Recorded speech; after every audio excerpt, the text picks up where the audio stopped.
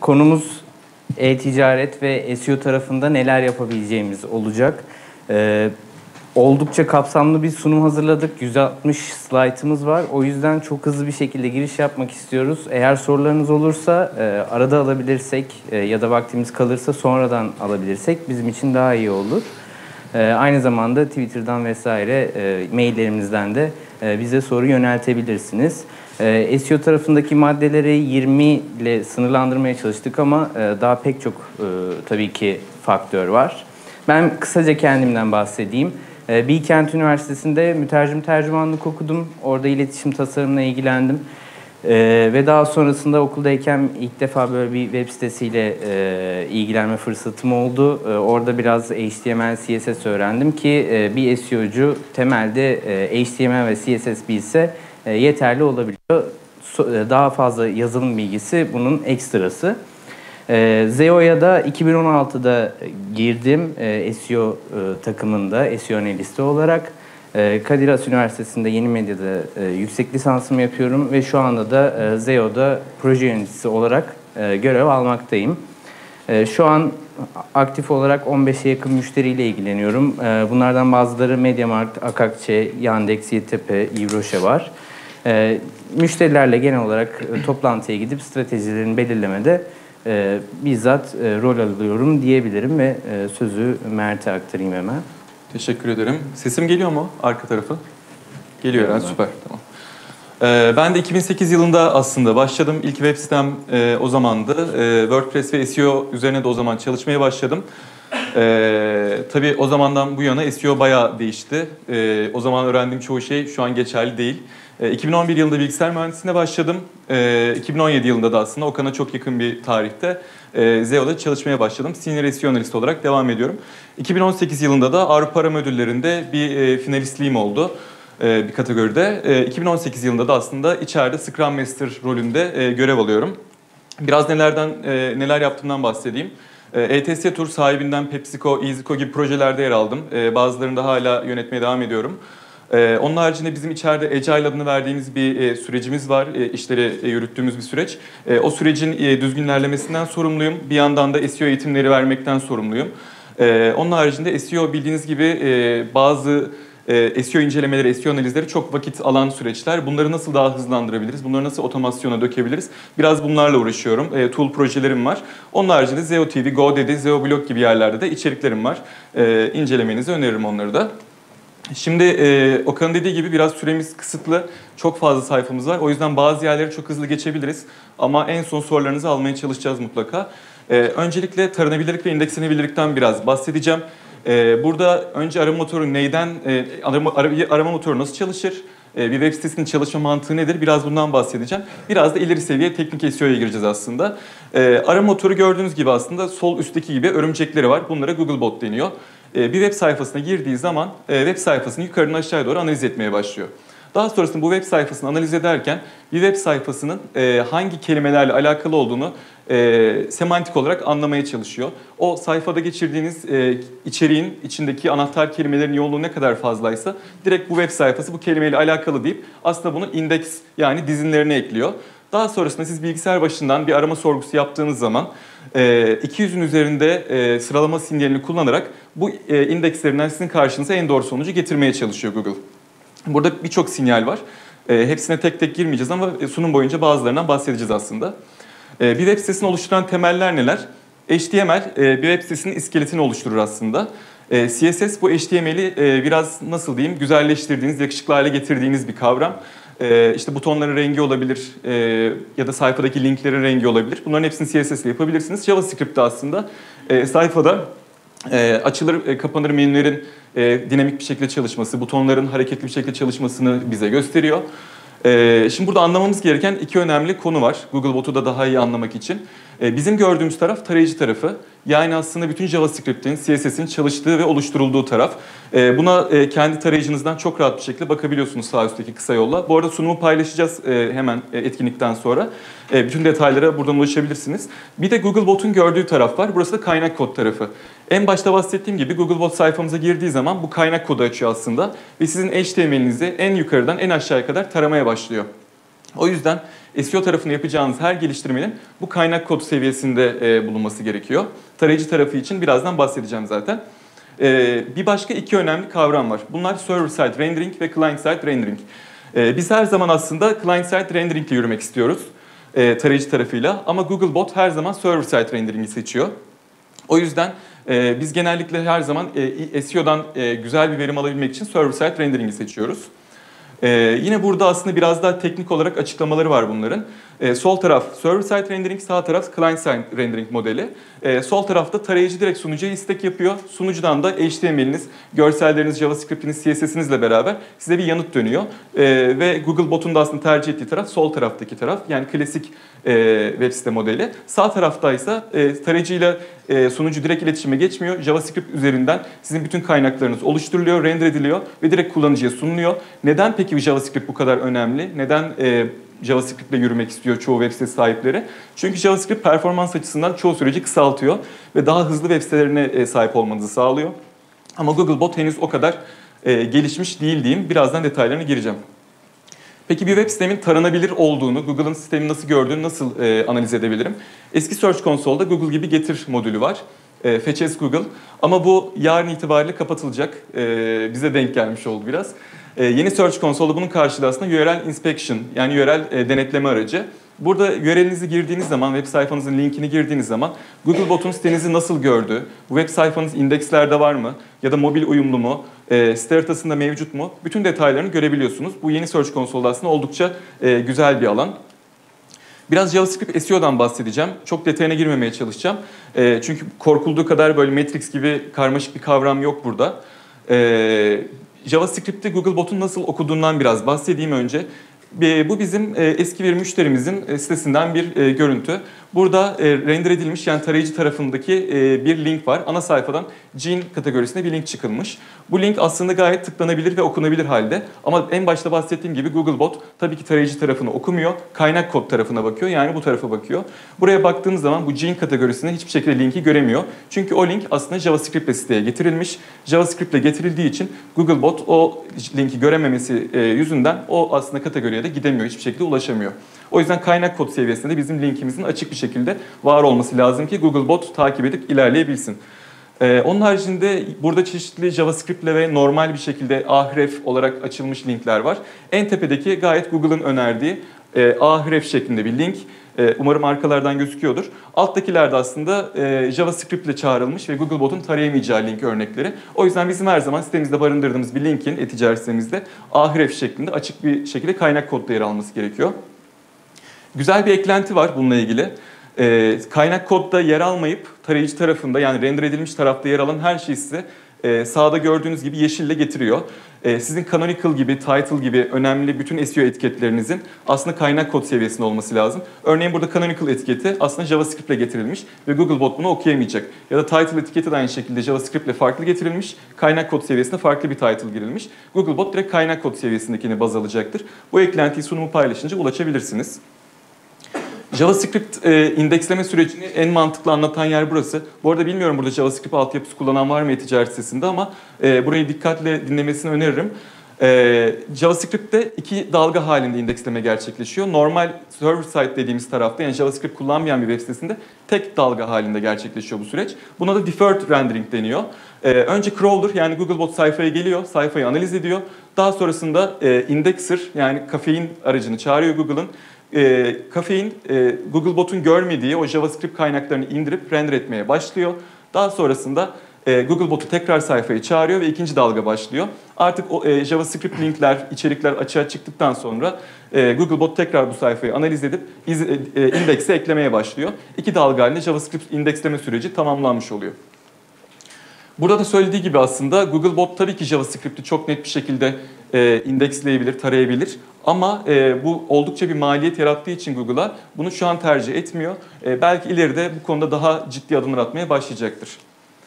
Ee, bunun bir çözümü var. JavaScript kullanıyorsak e, SEO'da ne yapabiliriz? Dynamic rendering yapabiliriz. Biraz teknik bir kavram ama yazılımcınız ya da yazılımcıysanız e, çok rahatlıkla anlayabilirsiniz. Sağ altta da kaynağımız var zaten bununla ilgili. Bu da şunu yapıyor aslında. Sizin içeriğinizi kullanıcıya farklı, Googlebot'a farklı sunuyor. Daha doğrusu aynı içeriği farklı yöntemlerle sunuyor. Googlebot'a kaynak kod seviyesinde sunuyor. Araya koyduğu bir ara teknoloji, Puppeteer gibi bir ara teknoloji sayesinde. Googlebot'a kaynak kod seviyesinde sunuyor. Ee, kullanıcı tarafına da tarayıcı seviyesinde sunuyor. Böylelikle web siteniz hem hızlı açılıyor hem de aslında rahatlıkla indekslenebiliyor. Ama çok büyük hacimli bir JavaScript sitesi değilseniz e, böyle bir geliştirme maliyetine girmenize gerek yok tabii ki. Ee, JavaScript testlerinizi nasıl yapabilirsiniz? Screaming Frog adını verdiğimiz araçla e, ayarlarından JavaScript taramayı, JavaScript render- rendering'i açmanız halinde e, JavaScript bir web sitenizde aynı Googlebot gibi tarayıp sorunlar nerede çok net bir şekilde analiz edebilirsiniz. E, sunumu paylaşınca zaten GIF'leri daha detaylı inceleme fırsatınız olur.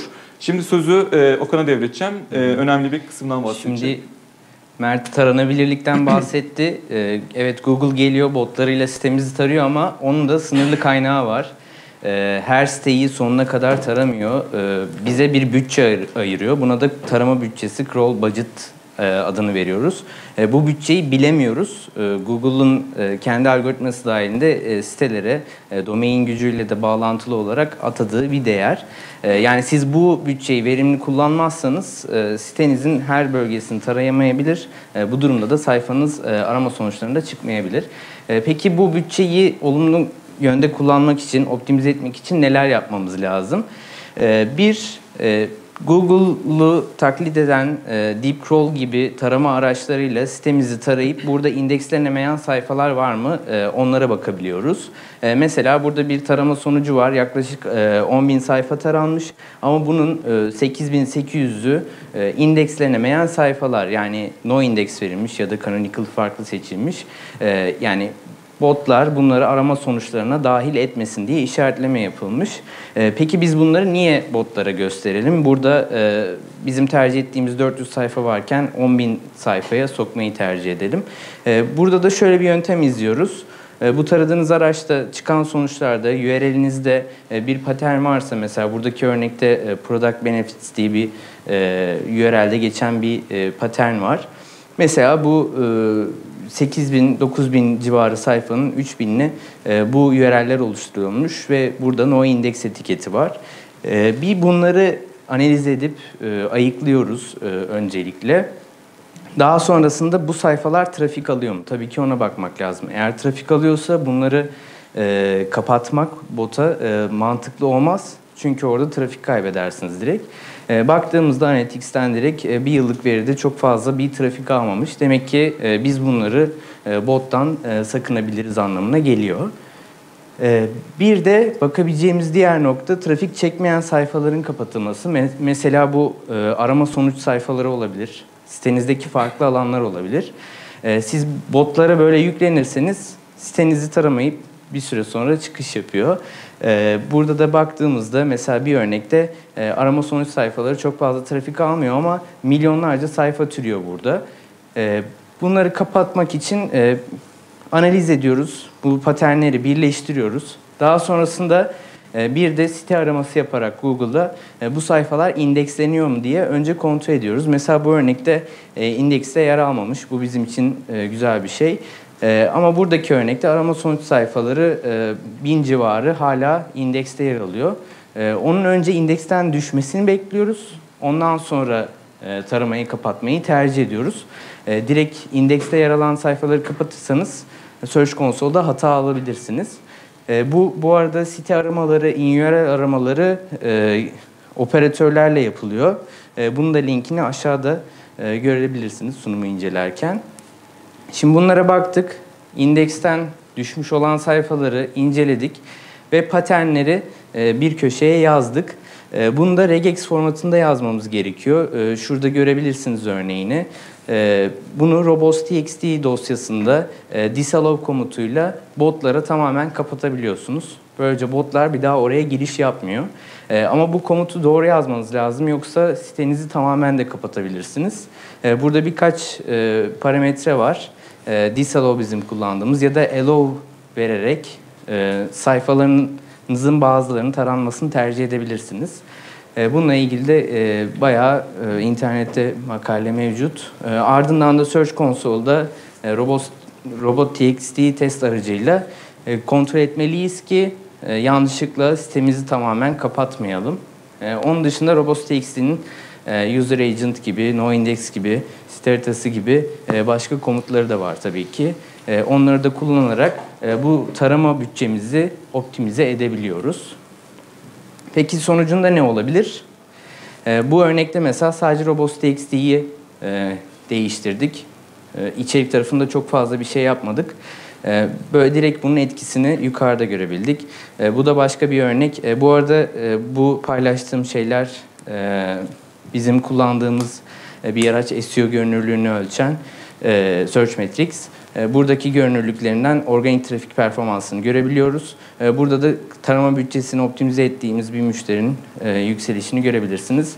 Böylece botlar ayağa kalkıp daha iyi tarayabiliyor sitenizi. Bir de e-ticaret sitesinde önemli olan şey site mimarinizi iyi kurmak. Botların sitenizi dolaştığını söylemiştik. Eğer böyle karmaşık bir yapınız varsa botlar bu yapıyı anlamayıp sayfalarınızı yanlış indeksleyebilir ya da sizin önemli olan sayfalarınıza ulaşamayabilir. E, bizim tercih ettiğimiz e-ticaret bir e-ticaret sitesinin ideal kurgusu e, bu şekilde. E, tepede ana, ana sayfa var. Ardından kategoriler e, en fazla güce sahip.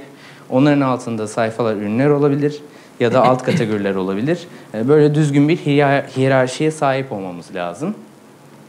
Peki bu hiyerarşinin doğru olup olmadığını nasıl kontrol edeceğiz? Ee, kullandığımız bazı araçlardan bir tanesi Ahrefs. Ee, bunun e, internal backlinks diye bir alanı var. Burada site içindeki linkleri e, görüntüleyebiliyorsunuz. E, böylece site içinde hangi sayfanız daha çok linkleniyor? Yani az önce konuştuğumuz yapıda e, kategorileriniz daha fazla link alıyor mu almıyor mu? E, bunları kontrol edebilirsiniz. Onun dışında Deep Crawl Az önce bahsettiğim tarama aracı. E, tarama yaptıktan sonra buradaki internal links e, alanında sitenizde ne kadar e, site içi linklemeler yapılmış onları kontrol edip çıktısını alabiliyorsunuz.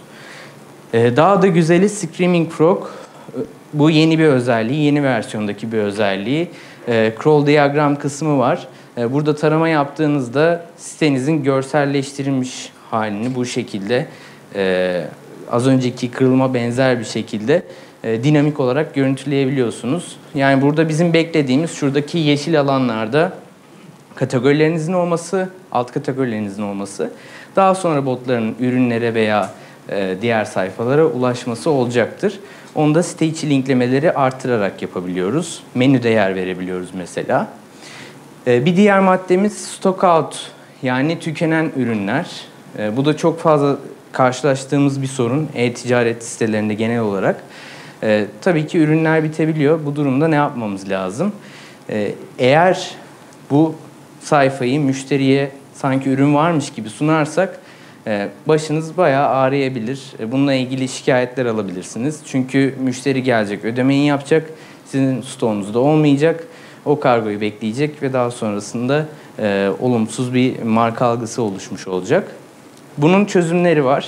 Üç tane çözüm yöntemimiz var. Birincisi 200 durum kodu döndürelim. Yani sayfa açılır durumda olsun. Botlar da tarayabilsin. Ee, ama buraya e, tükendiğini söyleyelim ve işte ürün gelince beni bilgilendir gibi bir e, seçenek sunalım. E, şuradaki bir örnek var. E, dizelim bir örneği. Burada mesela hem stock out, hani out of stock şeyi verilmiş, ibaresi verilmiş hem de burada mail verilmiş ama Yine de e, sepete ekle butonu var. Bu karmaşıklık yaratabilir. E, yani mümkünse buradaki Flipkart gibi bir e, örneğe sahip olursak daha iyi olur. İkinci çözüm e, 410 yani e, tamamen gitti e, durum kodu döndürmek ya da 404 e, bulunamadı e, durum kodu döndürmek. E, Google genelde burada 410'u e, birazcık daha destekliyor. Ee, ya da 404 döndürebilirsiniz. Yani kullanıcının oraya erişmesinden daha iyidir. Ama bu da tarama bütçesini olumsuz etkileyecek faktörlerden birisi olacaktır. Bizim ideal çözümümüz şudur. Ee, eğer ürünün tamamen gittiğinden eminseniz Onu üst kategorisine 301 kalıcı yönlendirme koduyla yönlendirin. Çünkü bir daha gelmeyecek. Kullanıcı ona erişse de onunla ilgili bir kategoriye ulaşacak. E, ya da geleceğini düşünüyorsanız ya da gelecekse e, 302 geçici yönlendirme kodu uygulayabilirsiniz. E, böylece e, yönlendirmeleri e, yani kullanıcıyı e, kategoriye ilgili olduğu bir sayfaya yönlendirmiş oluyoruz. Burada John Müller'in de bir açıklaması var.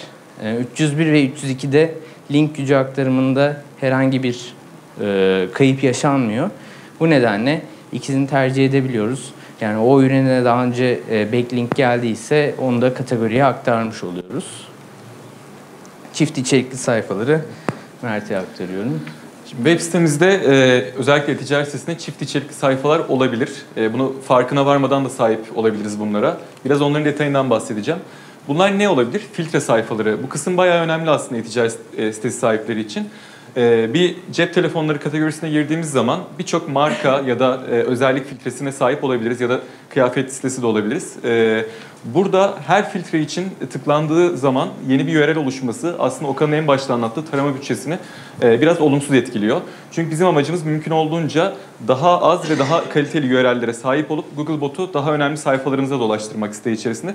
O crawl budget dediğimiz kavramı biraz öyle dağıtmak. Burada hepsi buradan yaptığı güzel bir şey var.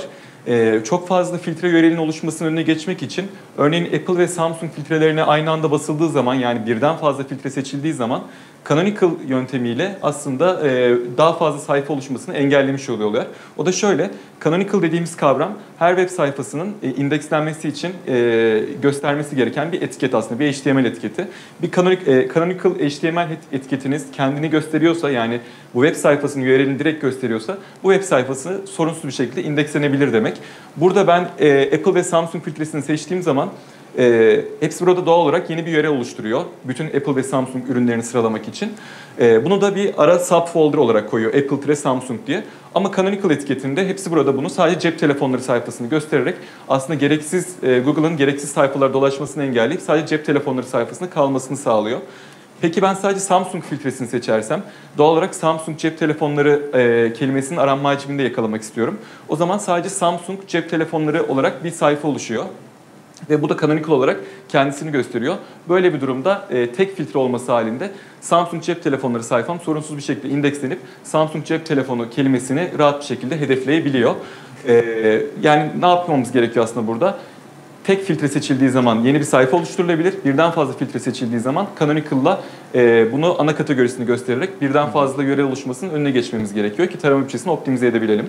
Tabii aranma hacimlerine de bakmak Aynen lazım. öyle. Eğer aranma hacmi olmayan bir filtre ise mesela onu da yine kategoriyi göstermeyi Aynen öyle. edebiliriz. Ee, Biraz orada işte anahtar kelime analiziyle beraber e, ana- e, aranma hacimleri üzerinden bir analiz yapmak lazım. Sadece subfolder olarak değil, e, parametre olarak da gelebilir. Örneğin N11'de bir marka parametresi var. Soru işareti M eşittir Asus Apple yazıyor.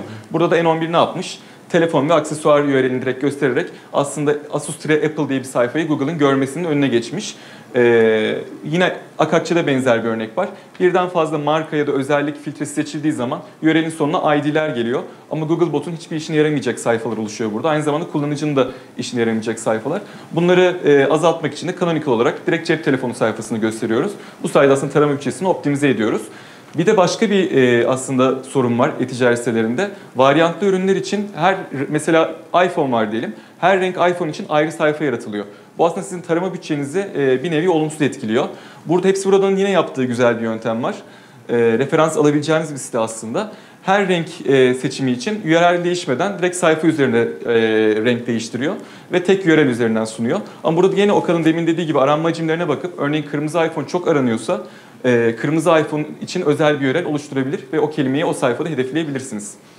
E, pagination ve infinite scroll yine e-ticaret sitelerinde e, olmazsa olmaz şeylerden bir tanesi. Ama SEO dünyası böyle 2-3 gündür bayağı kafası karışık bu konuda. Çünkü SEO çok dinamik bir e, sektör. E, o yüzden 3 gün önce pagination bizim aslında yıllardır müşterilerimize önerdiğimiz pagination etiketleri 3 gün önce Google tarafından biz bunlara dikkat almıyoruz ki siz niye öneriyorsunuz tarzı bir açıklama yapıldı. Ve bu basit bir tweetle yapıldı aslında. Ee, herkesin böyle bir kafası karıştı falan. Pagination'ları kaldırsak mı, dursa mı gibi algılar e, oluştu. Burada aslında yapılması gereken en ideal yöntem şu. Pagination'ları kaldırmaya gerek yok. Hala durabilir. Google sonrasından dedi ki biz bir tweetle bunu duyurduk, panik oldunuz. Yani bizim suçumuz biraz abarttınız. Ee, şu an nasıl gidiyorsa öyle bırakabilirsiniz, bir sorun yok dediler ama burada Trendyol çok güzel uyguluyor bu yapıyı. Infinite Scroll adını verdiğimiz çok güzel bir e, UX içinde güzel bir yöntem var. E, e-ticaret sitelerinde bir kategori e, sayfasında aşağı doğru indikçe ürünler hızlı bir şekilde geliyor. Bu aslında kullanıcının tüm ürünleri görmesi için bir kaydırma alışkanlığı yaratıyor. E, bunu Googlebot'a göstermek içinse aslında e, buradaki tabii önemli bir detay var. Sayfa aşağı indikçe GIF'te de görebileceğiniz gibi yukarıdaki URL de değişiyor. Yani page 2 oluyor, page 3 oluyor. E, bunu Googlebot'a göstermek için hala next ve prev pagination etiketlerinden faydalanmanız lazım.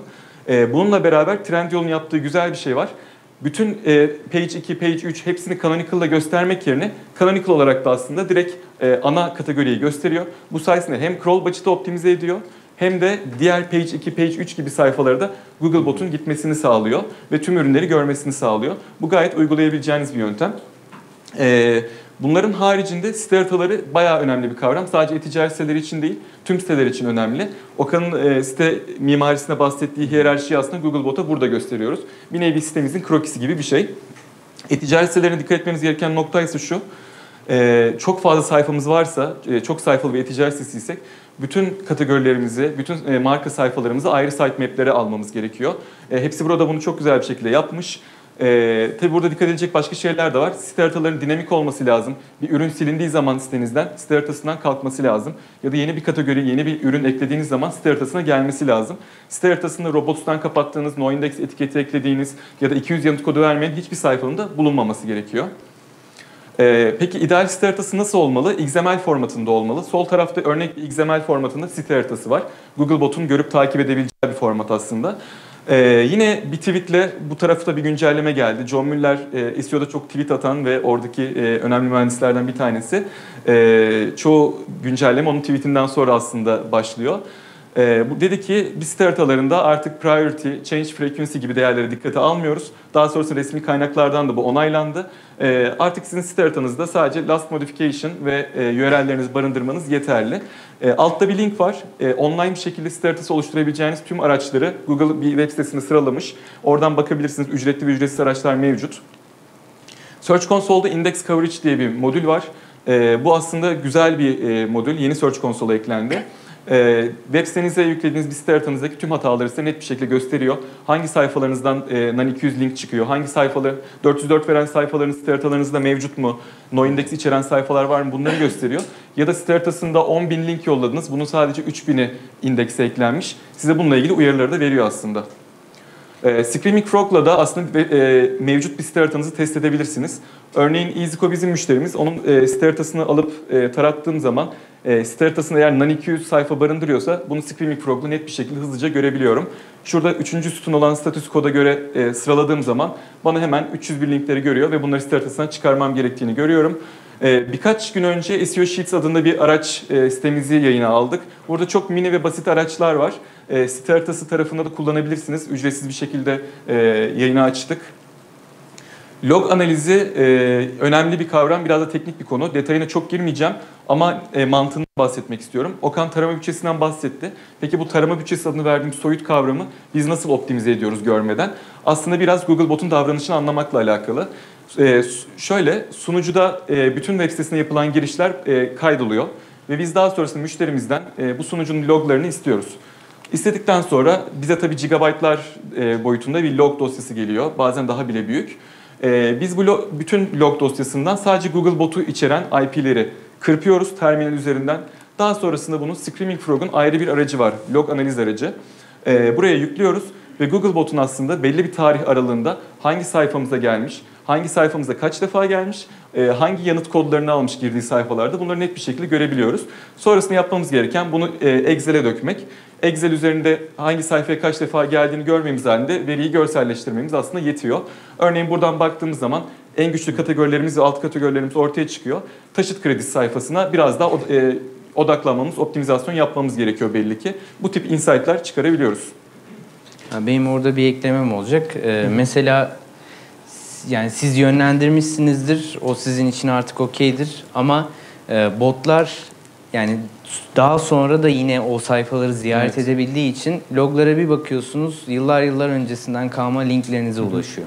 Yani bu tür durumda da yine e, bunları robots.txt'den e, kapatmak e, kalıcı bir yöntem olacaktır. Log analizi yapmadan şeyi göremiyorsunuz. E, yani botlar nereye ulaşıyor? Tamam kullanıcıları görebiliyoruz ama e, botları e, da anlamak için e, log analizi yapabiliyorsanız e, oldukça faydası Aynı durum görülüyor. şey Search Console için de geçerli. Örneğin Search Console'da 404 sayınız sürekli artıyorsa aslında e, siz düzeltmeler yapsanız bile oradan düzeltildi olarak işaretlemeniz lazım. Çünkü Okan'ın dediği gibi Google Bot girdiği bir sayfayı unutmuyor. Sürekli girmeye devam ediyor. Sadece sıklığını azaltıyor. Anca Robos'tan kapatırsak Aynen. bir daha oraya ulaşamıyor. Ee, Bir diğer önemli nokta yap- e, yapılandırılmış veri işaretleme yani e, Schema.org altında e, internet dünyasının aslında bilgi mimarisine göre inşa edilmesi diyebiliriz. E, Schema.org'daki işaretlemeleri kullanarak böyle e, rich snippets dediğimiz e, zengin arama sonuçlarını elde edebiliyoruz. İşte yıldızlar görebiliyorsunuz, oylamalar görebiliyorsunuz, e, altlarında daha farklı e, linkler görebiliyorsunuz. Bunları Schema.org'daki işaretleme yöntemleriyle yapıyoruz. E, E-ticaret tarafında en çok kullandığımız olmazsa olmaz dediğimiz e, şema işaretlemeleri bir organizasyon şeması. Ee, biliyorsunuz masaüstü versiyonda arama yaptığınızda e, sağ tarafta sizin e, sitenizle ilgili bilgiler yer alabiliyor. Yani şu görünümü e, nasıl sağlıyoruz? E, Schema.org'daki organization e, tipiyle, işaretlemesiyle burada bilgilerimizi botlara aktararak bu işaretlemeyi Google'a anlatıyoruz. O da bize böyle bir sonuç çıkartabiliyor. Burası şeyden farklı. My Business yani harita şeyinden farklı. Direkt e, bilgi kartı oluşturuyor. Bir diğer e, işaretleme yöntemi Site Links e, Search Box. Yani ana sayfanızı, sizin marka aramanızı yapan kullanıcıya e, ana sayfada e, bir e, site içi arama e, alanı göstermek. Böylece kullanıcıya çok hızlı bir şekilde sitenizde arama yapabilmesine imkan tanıyorsunuz. Bunda işaretlemelerini yine herhangi bir e, URL'i e, diyelim ki böyle bir sonuç gördünüz. Bunlar ne yapmış diye merak ediyorsunuz. Hemen gidip e, Google'ın yapıs- yapısal veri test aracına gidip linki yapıştırdığınızda e, bununla ilgili alanı e, çok rahat bir şekilde görüntüleyebilirsiniz. Burada tercih ettiği yöntem de JSON-LD, o da ayrı bir konu. E, işaretleme türleri var, mikrodata JSON-LD. Yapabiliyorsanız JSON-LD'yi tercih edin diyor Google. E, onun dışında breadcrumb e, bizim için önemli. Neden? E, çok fazla alta doğru inen e, site hiyerarşiniz varsa, mesela 7. kategoriniz varsa arama sonuçlarında bu linki bozuk göstermek yerine e, böyle güzel bir şekilde gösterebiliyorsunuz. Mesela işte Kabak otelleri için e, Fethiye otelleri, Öl- Ölüdeniz otelleri şeklinde böyle e, üçgen üçgen yanlara doğru bu görünümü sağlayabiliyoruz. Bu da tabii ki breadcrumb şema işaretlemesiyle sağlanıyor. Sağda bunun örneğini yine yapısal veri test aracından görüntüleyebilirsiniz. Ve olmazsa olmaz dediğimiz product şeması, pro- product tipi. Ee, şöyle mesela Akakçe'den bir örnek var. Ee, kullanıcı oyu, buradaki yıldızlamalar, e, toplam oy sayısı, hatta en düşük fiyat. Onlar da e, karşılaştırma sitesi olduğu için bunu sağlayabiliyorlar. E, product tipine girdiğinizde Schema.org'da bir sürü e, işaretleme yöntemi var. Orada mümkünse sizin için hani siz sitenizde ne sağlayabiliyorsanız e, burada product şeması altında, tipi altında e, bunları verebilirsiniz. E, orayı da mutlaka inceleyip e, işaretlemelerinizi düzgün yaparsanız Google'da e, sayfanızı daha iyi anlıyor. E, bu yönde de bir sinyal olabiliyor arama sonuçlarında. Yeni Search Console'daki bir özellik, Products diye bir alan açıldı e-ticaret sitelerinde. Burada yaptığınız hataları da görüntüleyebiliyorsunuz. E, neredeki işaretlemelerde yanlışınız var.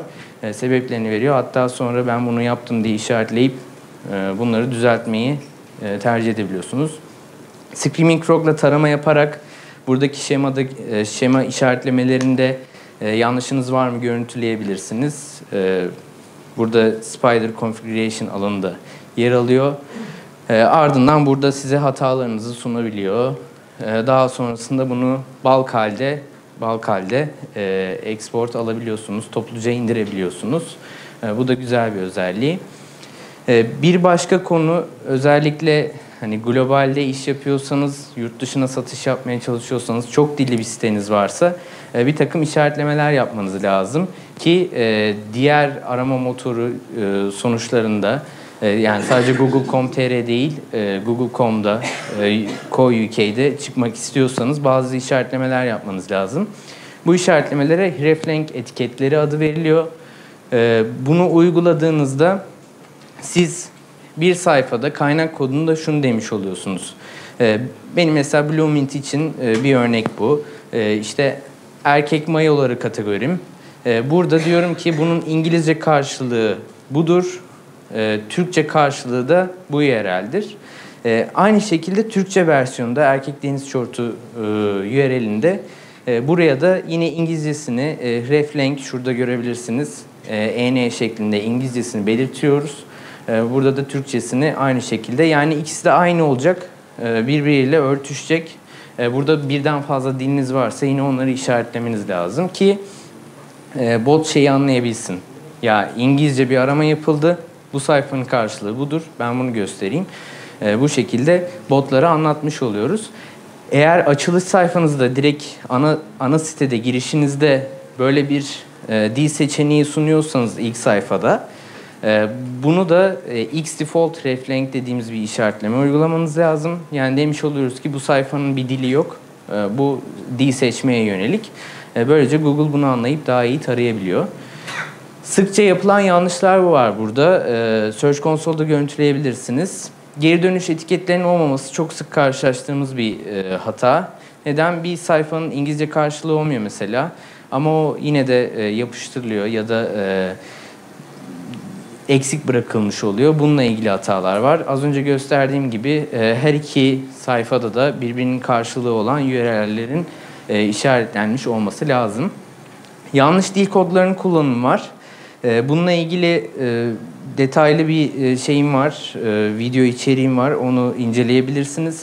Burada yapılması gereken önce ülke sonra dil, dil değil de önce dil sonra ülke olmalıdır. Yani burada e, İngiltere sonra e, İngilizce değil de e, İngil, İngilizce sonra İngiltere diye işaretlemeniz lazım. Yoksa yanlış bir e, işaretleme olur. Bununla ilgili hatalar görebiliyoruz. En kritik hatalardan birisi e, IP yönlendirmesi yapmanız. Yani kullanıcının IP'sine göre e, onu bir dile doğru zorlamanız diyebiliriz. E, bunu kesinlikle tavsiye etmiyoruz. Google da tavsiye etmiyor. Çünkü Google botlarını Amerika'dan yolluyor. Siz IP'ye göre yönlendirme yaparsanız sadece İngilizce versiyonunuzu tarayıp çıkabilir. Türkçe'ye ulaşamayabilir.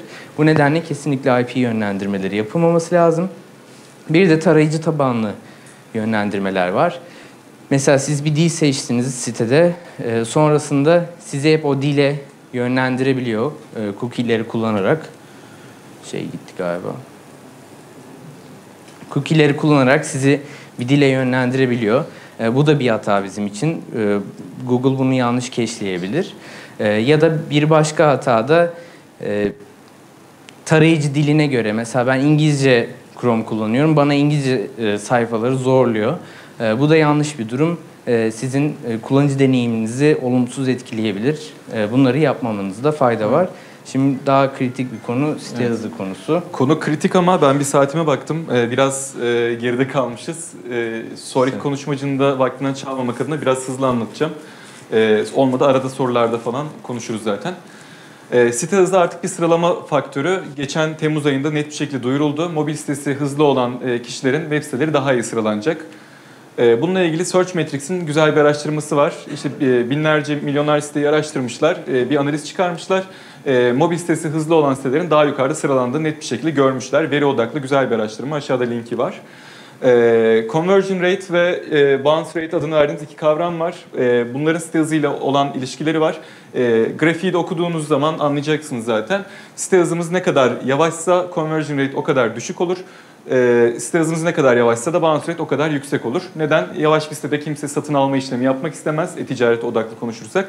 Ya da yavaş bir sitede kimse durmak istemez. Hemen çıkış yapar. Bu da bounce rate'imizi etkiler doğal olarak. E, site hızını ölçebileceğiniz araçlar var. Google'ın kendi aracı PageSpeed Insights güzel bir araç. Gerçek dünya verilerini kullanıyor. Tüm e, tarayıcılardaki dataları toplayıp ortalama size bir skor çıkarıyor.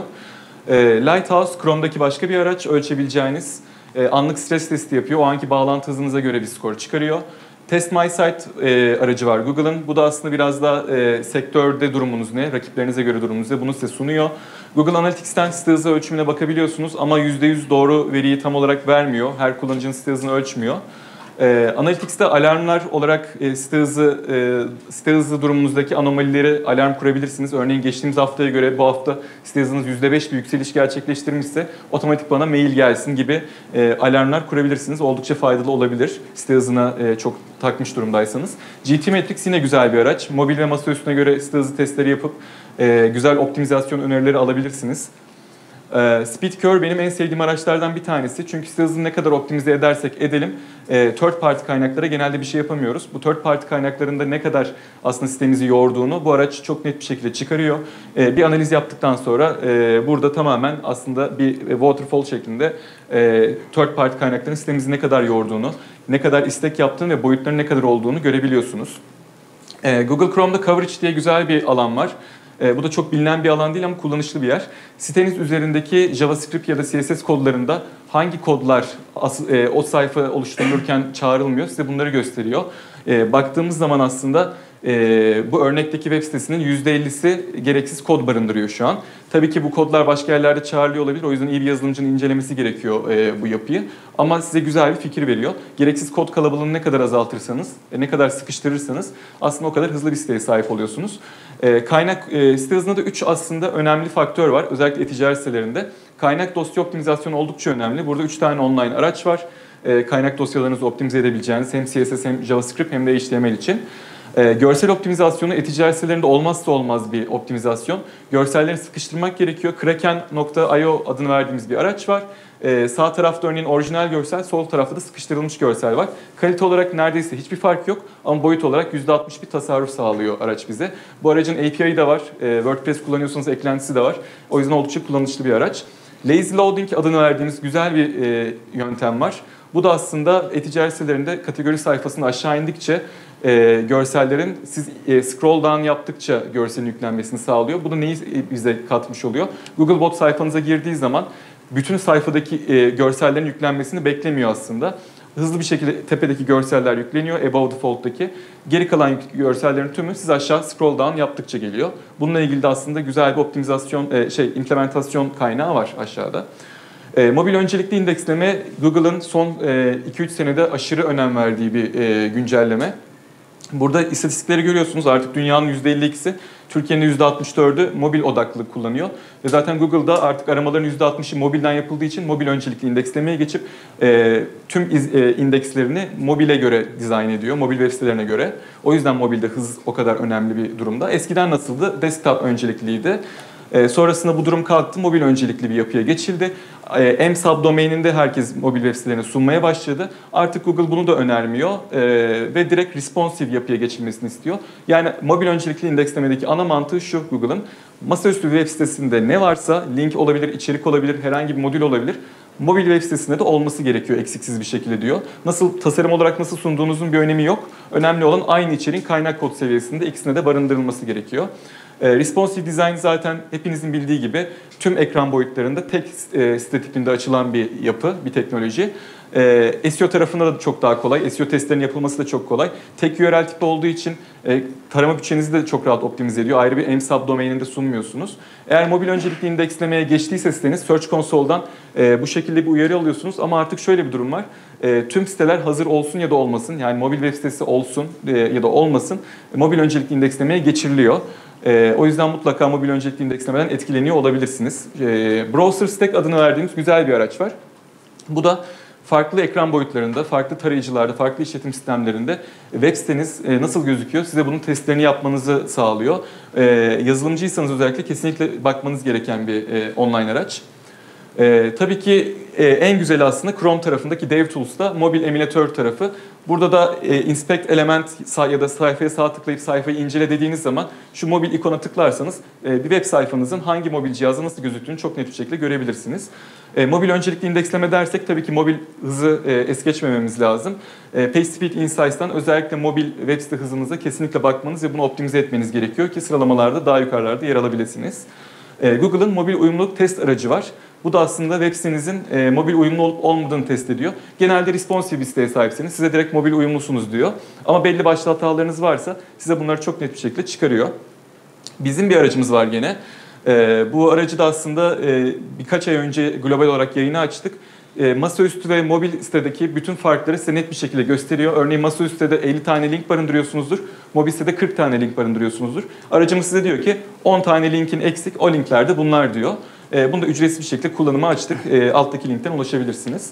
E, mobil trafiğinizi Search Console'dan, e, eski Search Console'da Search Analytics, yeni Search Console'da Performance e, modülü altından takip edebilirsiniz. Mobile göre kırılım yapıp e, web sitenize gelen e, hangi keywordlerden trafik geliyor, hangi ziyaretçiler geliyor, hangi tarih aralığında çok net bir şekilde görebiliyorsunuz. Search Metrics'te e, masaüstü ve mobil için ayrı SEO visibility skorlarını görebiliyorsunuz. Bu da ölçümleme yaparken güzel bir araç. SEO monitörde mobil ve masaüstü olarak e, kelimelerinizin e, sıralamalarını takip edebilirsiniz gün ve gün.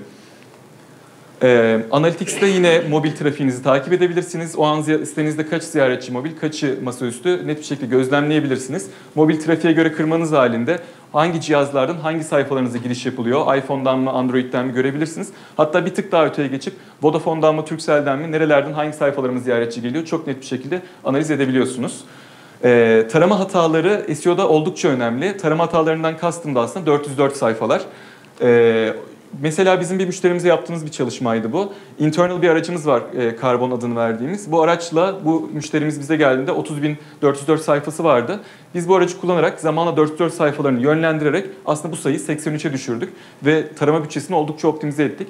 Her zaman ne diyoruz? Tarama bütçesini optimize etmek için mümkün olduğunca e, çöp sayfalardan sitemizi arındırıp e, Google Bot'u daha önemli sayfalarımıza dolaştırmamız lazım.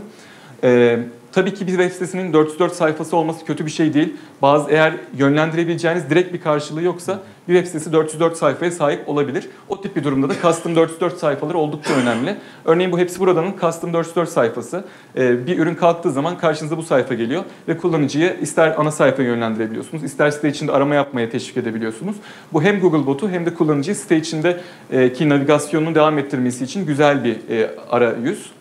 E, Trendyol'da gene e-ticaret üzerine böyle bir sayfa yapmış. Daha fazla buraya e, yoğunlaşıp böyle bir tasarım yapabilirsiniz. Bu da güzel bir 404 sayfası. E, bizim karbon aracımız da aslında iki hafta yayına girecek. E, ücretsiz bir şekilde kullanabileceksiniz e, siz de. Şimdi homepage SEO elementleri. hemen hızlıca devam edeyim.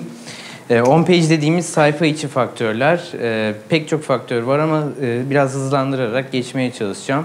E, burada böyle bir e, güzel bir şema var. E, sayfa içinde bizim için neler önemli? Tabii ki URL, meta description, e, title etiketleri, kullandığımız alt başlıklar, e, imajların alt etiketleri, anahtar kelimeler ve site içi linklemeler diyebiliriz. Şimdi e-ticaret tarafında bizim için en önemli faktörlerden bir tanesi title etiketi. Niye? E, bu bir ranking faktör yani sadece title'ınızı düzelterek e, daha iyi sıralama elde edebilirsiniz. Mesela insanlar daha fazla power bank arıyorsa e, taşınabilir şarj cihazı değil de e, power bank geçirmeniz daha doğru olacaktır. Aynı zamanda burada e, tıklamayı teşvik edici şeyler de kullanarak e, sitenize gelen e, trafiği artırabilirsiniz. Meta description etiketi e, bu arama sonuçlarında çıkan e, şuradaki alan burayı belirleyebiliyoruz. Ama bu bir e, sıralama faktörü değil. E, bu nedenle burada yapmamız gereken kullanıcıyı sayfamıza çekebilecek ifadeler kullanmak. Şöyle bir araştırma var. Bu tarafta bizim için ideal olan uzunluğun 120 karakter olduğu söyleniyor ki Twitter'da vesaire yani mobil paylaşımlarda da kesilmemesi adına ama Google'ın 150-160 karaktere kadar e, sınırı var. Burada da CTR arttırmak için e, çalışmalar yapabilirsiniz. Bizim bu e, çalışmalarınızı ön, ön izleme olarak görebilmeniz adına e, SERP Preview aracımız var. E, yine buradan kontrollerinizi sağlayabilirsiniz. E, alt başlıklar önemli. Niye? E, sayfaya geldiğinde bot e, o içeriğin iskeletini alt başlıklardan okuyabiliyor. Yani buraya bir ders çalışma kitabı gibi böyle e, ünite ünite alt alt üniteler, e, onların da altı şeklinde düşünüp e, burada e, sayfa içi optimizasyonunu sağlayabilirsiniz. Keza yine görsellerde alt text kullanımları önemli. Niye? E-ticaret tarafında görsel aramaları fazla oluyor. Burada çıkabilmek adına görsellerinizin alt etiketlerini mutlaka optimizasyon, optimize etmeniz gerekir.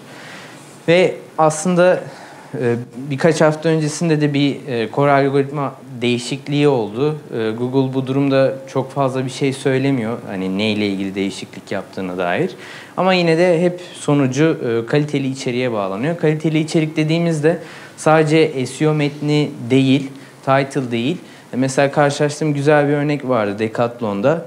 E, Yani siz burada o ürüne ait e, pek çok görsel görebiliyorsunuz, işte faydalarını görebiliyorsunuz, ürünün kendi videosunu izleyebiliyorsunuz, işte teknik bilgileri görebiliyorsunuz. Yani biraz daha bu tarafa evrilebilirsek, e, sadece SEO odaklı değil de kullanıcıya gerçekten kaliteli içerik sunmak e, bizi uzun vadede yani Google'un gittiği noktada e, daha iyi noktaya taşıyabilir. Ki Amazon zaten bunu en iyi layıkıyla yapan site diyebiliriz. Bir ürünle ilgili bütün sorulara, videolara, benzer ürünlere, e, her şeye ulaşabiliyorsunuz. E, rakip analizi konusu var.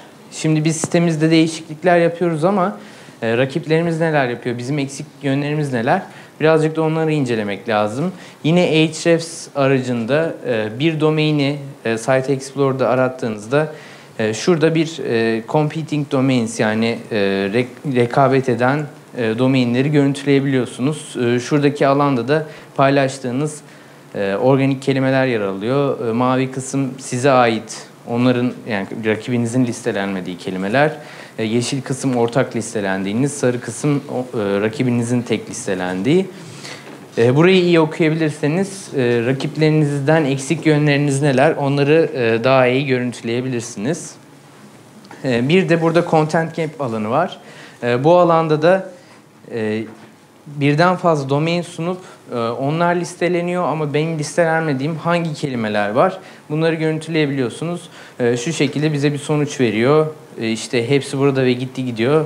E, Nun sıralanıp N11'in sıralanmadığı e, kelimeleri e, burada çok rahat bir şekilde görüntüleyebiliyorsunuz.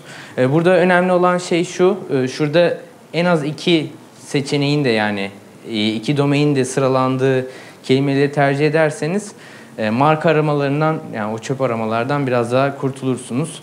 E, Daha böyle SEO odaklı kelimeler size gelir. Bir diğer güzel tarafı yine Site Explorer'da Top Pages alanı var. Yani rakibinizin en fazla trafik aldığının öngörüldüğü e, sayfalar diyebiliriz. Ve yine sonucunda anahtar kelime analizine bağlanıyoruz. E, Her şeyin temelinde anahtar kelime analizi var teknik tarafları bıraktığımızda içerik tarafında. E, Böyle birkaç temel soruyla yaklaşabiliriz. Bunu daha sonrasında inceleyebilirsiniz. Yani önemli olan ben kullanıcının aradığı şeye e, dair içerik üretebiliyor muyum? E, Ve şu müşteri yolculuğu haritasında e, kullanıcıya doğru içerik sunabiliyor muyum? Mesela tam satın almadan önce işte bir şey yorumları tarzı bir aramada çıkabiliyor muyum? Onu etkileyebiliyor muyum? Ya da satın aldıktan sonra işte bozuldu nasıl tamir ederim gibi aramalarda ona fayda sağlayıp tekrar bir sonraki aramasında e, benim markama yaklaşmasını sağlayabiliyor muyum? E, bunları yine içerik tarafında düşünmeniz lazım. E, şu müşteri yolculuğu haritasını anahtar kelime düzeyinde incelemeniz gerekir. En çok kullandığımız araçları şöyle listeleyebiliriz. Google'un araçları var. Ee, SimilarWeb gibi e, ücretli araçlar var. Ama bizim en fazla kullandığımız zaten sunumlardan da gördüğünüz üzere Ahrefs. Ee, onun en güzel yanı siz bir URL veriyorsunuz. Size onun e, listelendiği kelimeleri veriyor. Diğer araçlarda siz tek tek aramanız gerekiyor. Ee, Uber Suggest var. Keyword Planner gibi işliyor. Ücretsiz bir araç kesinlikle e, tavsiye ederiz. E, yine Google'ın datasını kullanarak trendleri dahi gösterebiliyor. E, güzel bir araç. E, burada da yine Ahrefs'in örneğini görebiliriz. E, şurada pek çok e, limitleme ile beraber anahtar kelime analizi yapabilirsiniz. E, URL bazlı görebilirsiniz.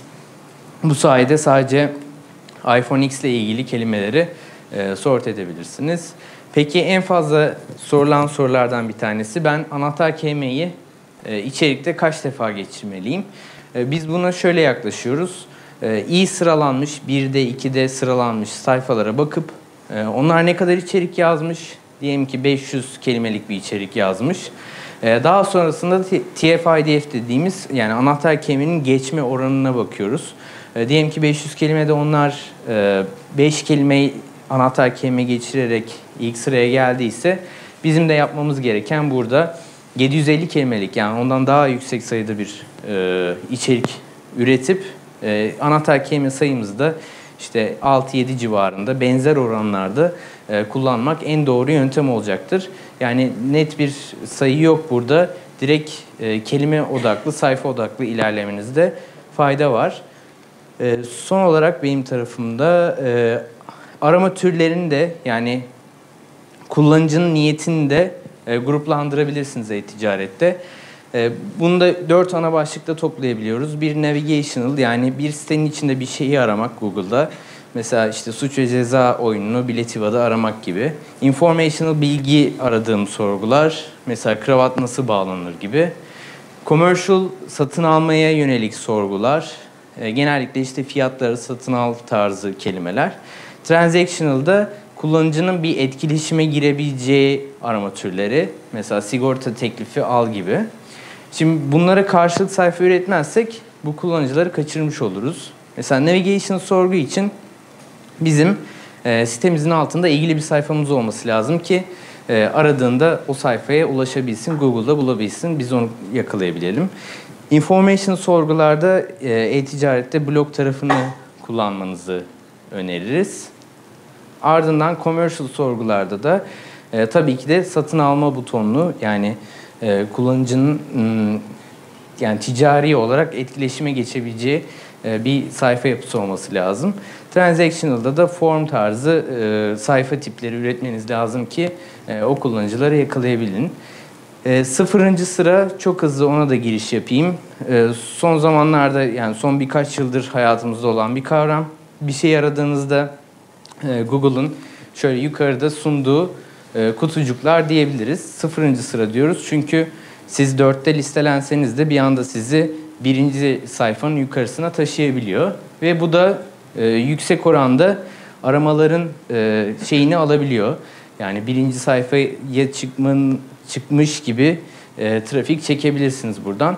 En fazla çıkan snippet türleri e, paragraf, sonrasında listeleme ve tablo geliyor ama en çok paragraf. E, o da içerik sitelerinde e, daha çok görülen bir şey. E, ama mesela paragraf snippet'ı e, bir e-ticaret kategori e, sayfasında da hedefleyebilirsiniz. Mesela beyaz eşya markaları tarzı bir alt başlık oluşturup burada metne yer vererek burada sıfırıncı sırada çıkabilirsiniz. Liste snippet için ne yapabiliriz? Blog tarafında özellikle numaralandırılmış böyle liste içerikleri oluşturarak e, aramalarda sıfırıncı sırada yer alabiliyoruz. Bir de tablo snippet var. E, bu birazcık da hani Google'ın tercihine kalmış bir şey. Şimdi sayfanın altında bir tablo oluşturup table elementiyle e, bir tablo yaratıp e, burada çıkmayı deneyebilirsiniz ama Google bazen şuradan çekebiliyor. E, mesela sahibindenin li, e, ilan listeleme sayfası burada e, table elementi altında. Yani bir tablo elementi satırları sütunları var e, kaynak kodlarda. Bunu direkt oradan çekip kendisi özetleyip burada e, size yer verebiliyor. E, bu şekilde de çıkma imkanınız olabiliyor. E, Opticom'da Tuğçe var. Tuğçe'nin bir bununla ilgili güzel bir geçenlerde tweet'i oldu. E, feature snippet'ta çıkma ihtimalimizi nasıl bulabiliriz? E, mesela sarma tarifinde yemek.com çıkıyor. Sonra siz Google'a sarma tarifi eksi domain adı yani eksi e, yemek.com, yemek.com'u çıkar dediğimizde e, sonrasında çıkan feature snippet aslında Google için diğer aday feature snippet diyebiliriz. Burada bir ekleme yapayım. E, yemek.com'un haricinde eksi sabah.com'da yazmanız halinde bir sonrakini de çıkarıyor. Hani ne kadar domain yazarsanız o kadar aslında sonraki gelecek snippet'ı ihtimali görebiliyorsunuz. Aynen öyle. Böylece rakiplerinde ne, neler yaptığını daha iyi inceleyebilirsiniz. Sondan bir Evet, yavaştan bitiriyoruz artık. Site taşımadan da biraz değineyim. Ee, Şimdi site taşıma pek çok nedenden dolayı gerçekleşebilir. Örneğin hosting taşımış olabilirsiniz, e, e-ticaret altyapınızı başka bir altyapıya geçiriyor olabilirsiniz. e, domain taşıma yapıyor olabilirsiniz ya da yörel e, değiştirecek düzeyde tasarım değişikliği yapıyor olabilirsiniz. E, bunları yapmadan önce dikkat edilmesi gereken belli başlı maddeler var. Önce eski sitemizin tüm yörellerini e, ekranda gördüğünüz araçlarla bir toplamak lazım.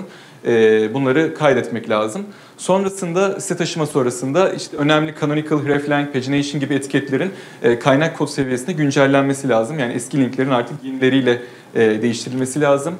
Daha sonrasında site içindeki eski linklerin e, güncellenmesi lazım. Kategori linkleri olabilir, bunlar ürün linkleri olabilir, her şey olabilir.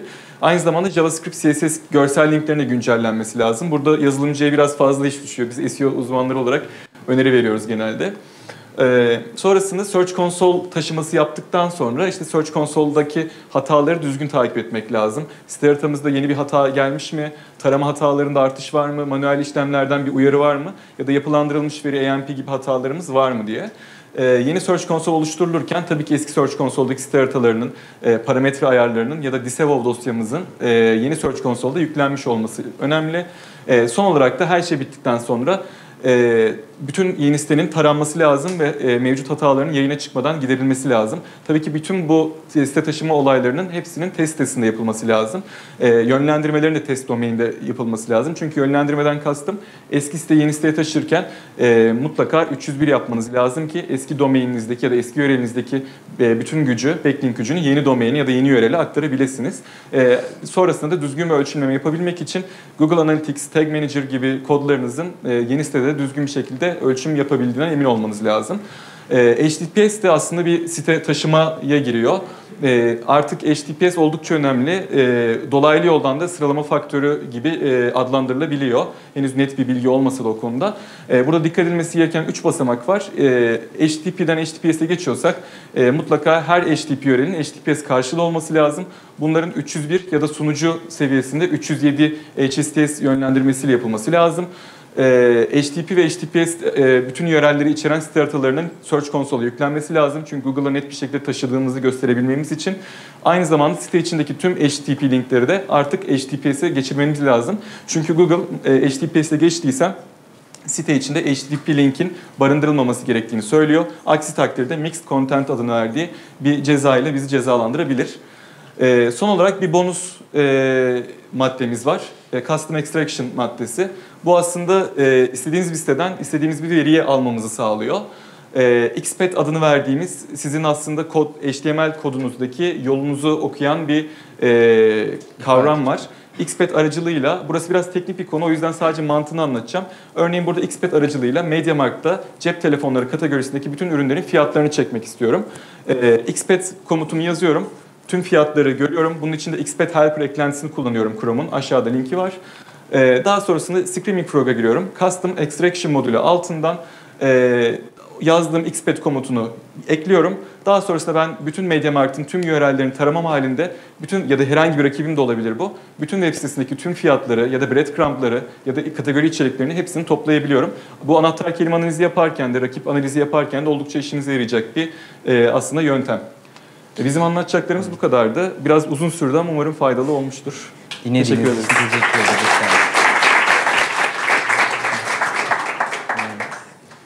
Mehmet soru alabilir miyiz? Vaktimiz nasıl? Ee, ya birazcık vakti açtık ama evet. bir, bir tane soru alabiliriz. Buyurun. Evet. Devam. Sağ olun. Teşekkür ederiz.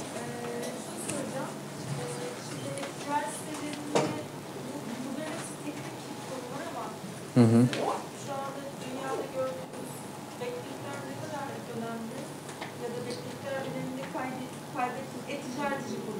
E-ticaret. Ya Backlink'i e, faydasını görüyoruz hala açıkçası. Yani mesela e, yeni açtığınız bir sayfayı mesela çok hızlı bir şekilde indeksletmeye yarayabiliyor. E, onun dışında çok uzun sorgularda mesela onunla ilgili e, onun olduğu anchor text ile beraber link alırsanız e, o sorgudaki performansınız iyileşebiliyor.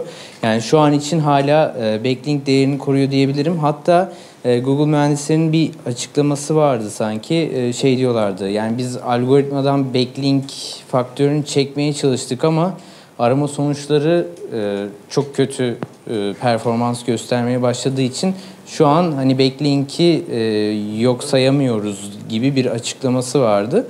E, o nedenle hala dahil ediyorlar ama ileride tabii ki e, ne olacağı meçhul olabilir yani. Tamam.